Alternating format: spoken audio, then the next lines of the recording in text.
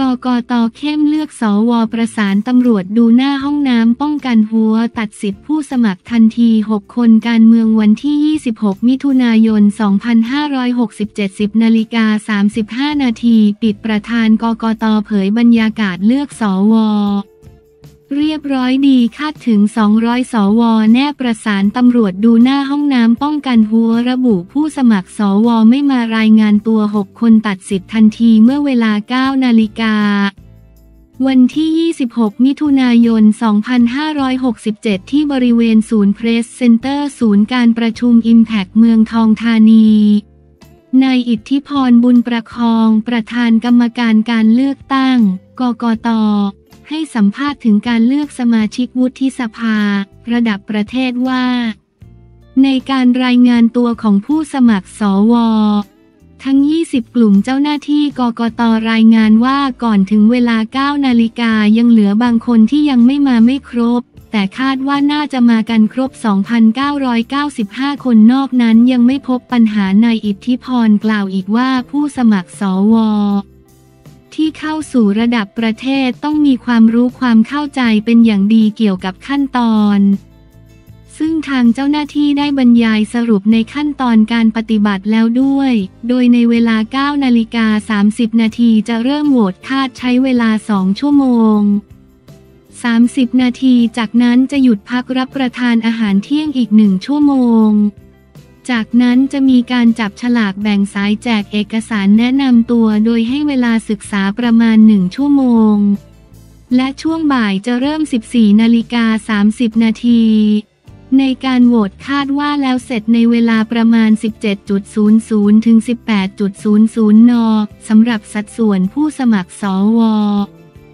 ดูตามกระบวนการแล้วน่าจะไหลไปถึง 200 คนได้ยังไม่มีแนวโน้นว่าจะไม่ได้ เมื่อถามว่ากรณีมีลายหลุดว่ามี NGO อยากให้ผู้สมัครมอบคะแนนเสียงให้คนของตัวเอง นายอิทธิพรกล่าวว่าตนเห็นข่าวและภาพว่า แต่ละกลุ่มน่าจะมีใครได้รับเลือกแต่กฎหมายห้ามทำโพตามมาตรา 87 ของพรปว่าด้วยการได้มาซึ่งสว 2561 ส่วนการให้ข้อคิดเห็นเสนอความเห็นว่าในมุมมองของผู้เสนอข้อมูลเหล่านี้ เป็นการเสนอจากที่เขาเห็นว่าตามบัญชีรายชื่อมีผู้ใดในสายตาเขาควรได้รับเลือก ก็เป็นการให้ข้อคิดเกณฑ์แต่ตามแนวปฏิบัติกากาศ เมื่อมีประเด็นทำนองนี้สำนักงานกกตจะศึกษาข้อเท็จจริงขอกฎหมายหากมีการกระทำที่จะต้องให้กกตตัดสินใจก็จะส่งเรื่องให้กกตพิจารณา ตัดสินเมื่อถามย้ำว่ามี 300 ผู้สมัครรวมกลุ่มสัมมนาและมีการล็อบบี้นั้น ข้อเท็จจริงแนวปฏิบัติเป็นอย่างนายอิทธิพรกล่าวว่า ข้อเท็จจริงที่ปรากฏตามข่าวเป็นการจัดเพื่อจะพูดข้อเท็จจริงระหว่างกัน และจัดอย่างเปิดเผยอย่าลืมว่ากฎหมายไม่ได้ห้ามเอาไว้ในการพบ แนะนำตัวอย่าลืมว่าระเบียบกกตว่าด้วยเรื่องการแนะนำตัวนั้น ได้รับการผ่อนคลายจากศาลว่าให้ผู้สมัครมีโอกาสแนะนำตัวได้มากที่สุด แล้วกระบวนการใดที่ทำโดยเปิดเผย ให้ถือในเบื้องต้นว่าเป็นการดำเนินการโดยสุจริต แต่ทุกเหตุการณ์กกตได้ให้เจ้าหน้าที่ที่เกี่ยวข้องได้เข้าไปติดตามอยู่แล้ว ให้มั่นใจว่าไม่มีการฝ่าฝืนกฎหมาย เมื่อถามว่าการล็อบบี้จะทำให้การเลือกสอวอเป็นไปอย่างสง่างามหรือไม่ นายอิทธพรกล่าวว่าต้องดูว่า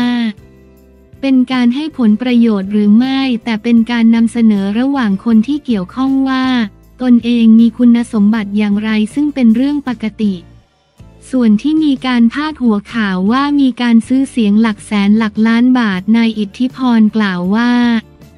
เป็นประเด็นที่ผู้สื่อข่าวและสาธารณชนติดตามมาตลอด โดยเราได้พยายามติดตามพฤติการที่น่าสงสัยมาตั้งแต่การเลือกระดับอำเภอ ถ้ามีพยานหลักฐานเมื่อใดเราก็จะดำเนินการ ซึ่งมีการรวบรวมไว้ตั้งแต่ระดับอำเภอ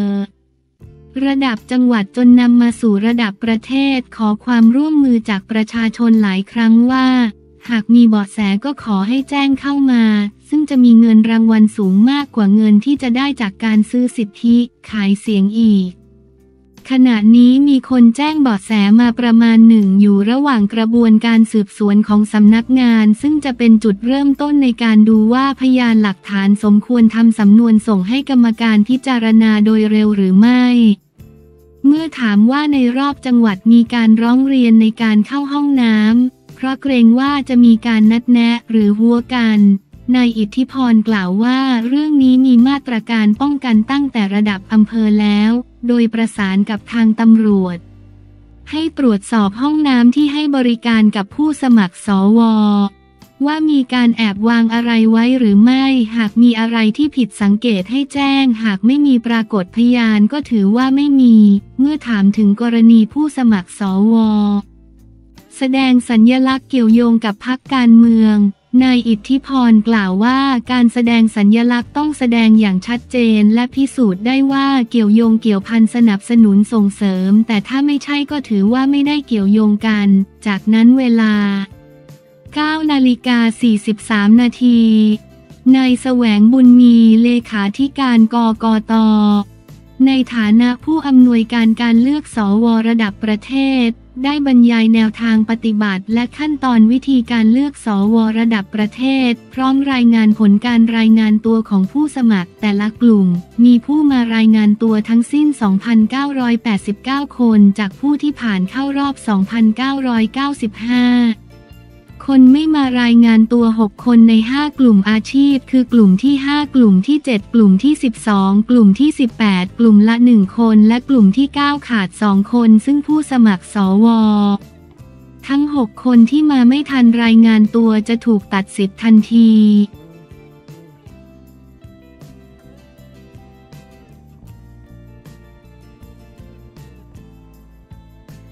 รองผู้อำนวยการหายตัว 10 วันยังไม่พบร่องรอยแม่เผย ปมปัญหาร่างทรงบอกยังมีชีวิตอยู่ทุกทิศทั่วไทยวันที่ 25 มิถุนายน 2567 21นาฬิกา45 นาที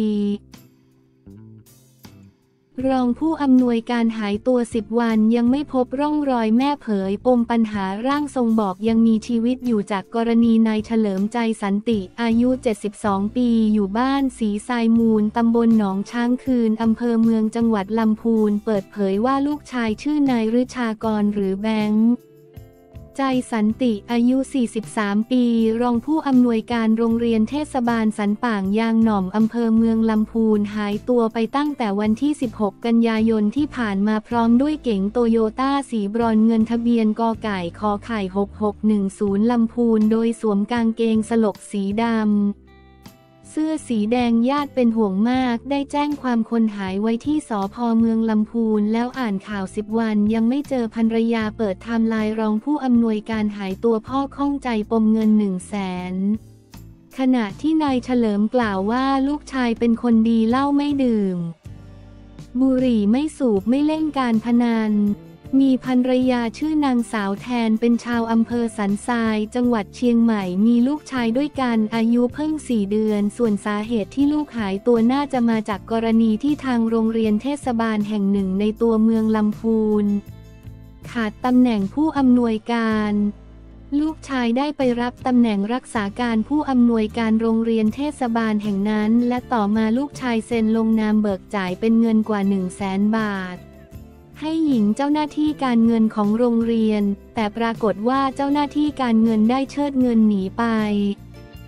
ทำให้เทศบาลแจ้งความดำเนินคดีกับเจ้าหน้าที่การเงินคนดังกล่าว จึงอาจเป็นสาเหตุให้ลูกชายกลุ้มใจหนักหายตัวออกจากบ้านไปอย่างไร้วี่แวว ล่าสุดวันที่ 25 มิถุนายน 67 ผู้สื่อข่าวได้ลงพื้นที่ไปบ้านเกิดของ ครูแบงค์พบกับนางอนงใจสันติ อายุ 71 ปี อดีตข้าราชการครูเกษียณเป็นแม่ของครูแบงค์พร้อมเปิดเผยว่าหลังจากเกิดเหตุครอบครัวรวมทั้งแฟนของครูแบงค์ก็รู้สึกไม่สบายใจ ได้ไปแจ้งความและออกตามหาทุกวัน พร้อมกับเจ้าหน้าที่ตำรวจและเพื่อนๆของครูแบงค์ส่วนปัญหาเรื่องเงินที่ถูกครูอัตราจ้างเชิดเงินหนีไป ได้สอบถามครูแบงค์แล้ว ครูแบงค์ก็ไม่สบายใจ ซึ่งครอบครัวได้ปลอบ และตนก็ได้โอนเงินมาช่วยให้ครูแบงค์เพราะเงินไม่ค่อยเยอะ ไม่น่าจะเป็นปัญหาที่ทำให้คิดมาก แต่ครูแบงค์ก็เป็นคนที่จริงจังกับชีวิต อยากบอกผ่านสื่อหาครูแบงค์หากทราบข่าวอยากฝากว่าพ่อแม่ และทุกๆคนรวมทั้งลูกเมียคิดถึงและเป็นห่วงมากขอให้กลับบ้านแล้วช่วยติดต่อมาด่วน อย่างไรก็ตามตั้งแต่เกิดเหตุก็ไม่มีใครสามารถติดต่อกับครูแบงค์ได้เลย ส่งข้อความไปก็ไม่อ่านโทรก็ไม่รับ ซึ่งเรื่องที่โดนโกงเงินไปจากครูอัตราจ้าง ครูแบงค์บอกแม่ว่ากลัวเสียประวัติเท่านั้น ซึ่งทุกคนคอยปลอบประโลมไม่ให้คิดมากสำหรับครูแบงค์ บรรจุรับราชการครูครั้งแรกที่สวรรคโลก และก็ย้ายมาที่บ้านโรงเรียนบ้านสันป่ายาง แล้วก็ไปรับตำแหน่งเป็นรองผู้อำนวยการอยู่ที่จังหวัดเชียงใหม่ ซึ่งครูแบงค์นั้นได้แต่งงานกับข้าราชการครูด้วยกัน และมีลูกชายวัยสี่เดือนหนึ่งคนตอนนี้พ่อแม่ได้พยายามติดตามหาครูแบงค์ทุกวิถีทาง รวมทั้งได้พึ่งไสยศาสตร์เจ้าทรงบอกว่าครูแบงค์ยังมีชีวิตอยู่จะกลับมา